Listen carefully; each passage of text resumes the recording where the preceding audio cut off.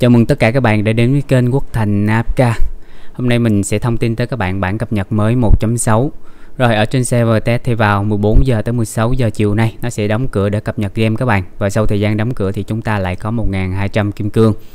Tướng mới sẽ được thêm vào. Raku Ratkan Ratko Rồi rồi chúng ta sẽ có một cái đấu trường thử nghiệm của Raku Ratko vào ngày 26 tháng 3 trên server test các bạn. Rồi, lại thêm một à, hero nữa các bạn, Betgi.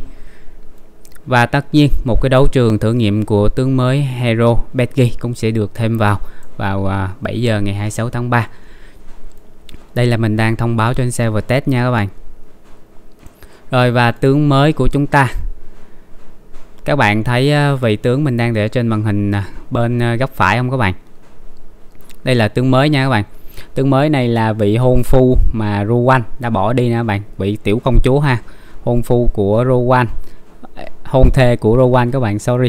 À, tuy nhiên Rowan đã từ chối cuộc hôn nhân này và đã bỏ đi lang thang làm thương nhân.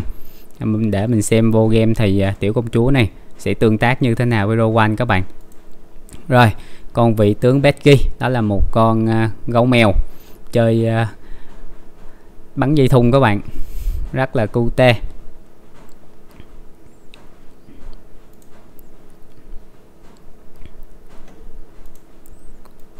Rồi cũng như là chi tiết bộ kỹ năng của hai vị tướng này thì mình sẽ cập nhật với các bạn ờ, sau khi server test cập nhật nha. Các bạn cùng mong chờ xem bộ kỹ năng của hai vị tướng này nó sẽ như thế nào. Rất có khả năng cao là vị ờ, hôn thê của Rowan sẽ là một vị tướng support các bạn.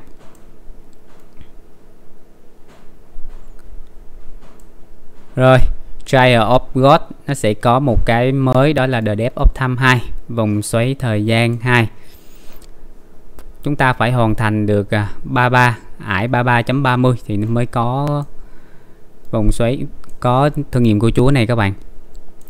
Rồi mid thi mới sẽ được à, bắt đầu vào ngày 2 tháng 4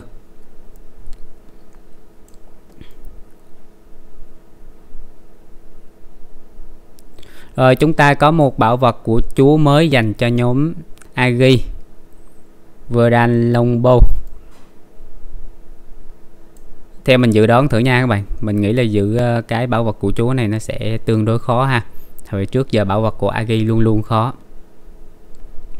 Rồi match Trial of God nó sẽ ờ, từ 45 tới 60 các bạn. Đó là lever của Trial of God chỉ tới là lever 60 Wow, tăng độ khó lên. Rồi, cái chế độ chơi mà mình đã thông báo với các bạn bao gồm 5 người cùng chơi với nhau. The Hunting Fire đã có mặt rồi nha các bạn. Và chúng nó sẽ mở cửa sau ờ, ải 19.40 chúng ta qua được map 1940 thì nó sẽ mở chế đồ chơi này. Chúng ta cùng mong chờ chế đồ chơi này các bạn. Wow, add một món mới. Món T3 Wow, càng ngày càng VIP các bạn. T3 sẽ được bán trong ờ, shop gui sau map 30 Wow, có đá T3 các bạn ơi chúng ta sẽ có thêm một cái item mới bounty chest chúng ta có thể nhận được từ à, nhiệm vụ ha. Sau à, map 8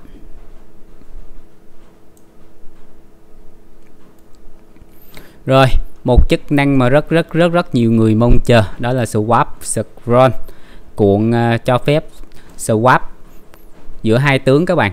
À, lúc trước mình có cập nhật một cái thông tin đó là có một game thủ đã hỏi uh, Lilith game đó là nếu nó nâng sai uh, à, tôi có tôi nâng sai một tướng ví dụ tôi đã lỡ up Belinda lên xích 30 và 9 món nội thất thì có cách nào đó là giúp chúng tôi uh, sửa chữa sai lầm không? Có thể cho tôi một cuộn reset tướng chẳng hạn. Nhưng uh, Lilith say no nhưng mà nó sẽ cho phép một cái tính năng gọi là swap các bạn swap giữa hai tướng với nhau. Cái này mình nghĩ nó sẽ tương tự với là swap tướng không gian với tướng uh, bình thường nhưng mà chức năng này nó sẽ cao cấp hơn. Mình nghĩ nó sẽ cái ở đây nè nó swap luôn cả liver swap luôn cả tire seat item and uh, my furniture. Ok nó swap sạch luôn các bạn. Swap tất cả những gì của hero kia.